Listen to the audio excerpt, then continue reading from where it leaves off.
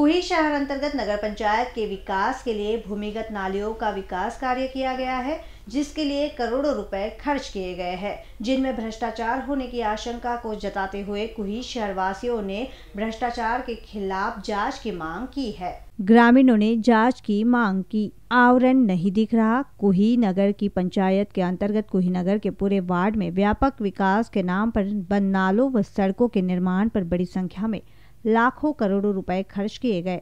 प्रहार जनशक्ति पार्टी की ओर से लोक निर्माण विभाग में दर्ज शिकायत में प्रशासन ने मांग की है कि गुणवत्ता नियंत्रण विभाग नाले के निर्माण की स्वतंत्र जाँच कर ठेकेदार समेत दोषियों के खिलाफ कार्रवाई करे। उन्होंने कहा कि लोक निर्माण विभाग ने शहर के वार्ड में बारिश का पानी ले जाने के लिए शहर की सड़कें, दोनों ओर सीमेंट, कंक्रीट के नालों का निर्माण किया है।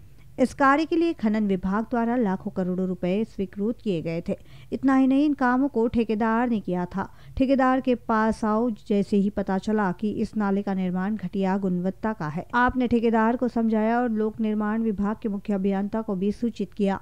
पहली बार इसमें कोई शहर में भूमिगत नाले का कवर और उस नाले के लिए इस्तेमाल की गई धूल और सीमेंट पूरी तरह से बह गई है। भैया नथुलेंडे के घर के पास नाले का निर्माण किया गया था, लेकिन उनके अंदर और बाहर जाने का रास्ता बहुत ही हालाँकि उन्होंने मांग की कि निर्मित नाले को तत्काल सुविधाजनक बनाया जाए। मांग के बावजूद इस नाले पर स्लैब नहीं डाला गया, जिससे लोगों को घर में जाना आना मुश्किल हो गया है। लोक निर्माण विभाग के मुख्य अभियंता जयपाल बेंद्रे को दिए बयान में मांग की गई कि गुणवत्ता गुणवत्ता नियंत्रण विभाग द्वारा कार्य की गहन जाँच की जाए। ठेकेदार के साथ दोषियों के खिलाफ कार्रवाई की जाए और इसी के साथ नई गुणवत्ता का निर्माण किया जाए। नागपुर के उप जिला प्रमुख संजय अतकरी के साथ प्रहार कार्यकर्ता भैया जिलांडे, बाला देवतले, रोशन बंटे शेषराव दूत पाचारे, आशीष लांजवार, राहुल लांजवार, अजय बंटे, राजू बगवे, पंकज खराबे, गणेश दाहके कौड़ू मंधारे, मोहन धोटे। इसके साथ ही अन्य ग्रामीणों ने बड़ी संख्या में यह मांग की है। अन्यथा कोई शहरवासियों की ओर से जन आंदोलन की चेतावनी भी इस दौरान दी गई है।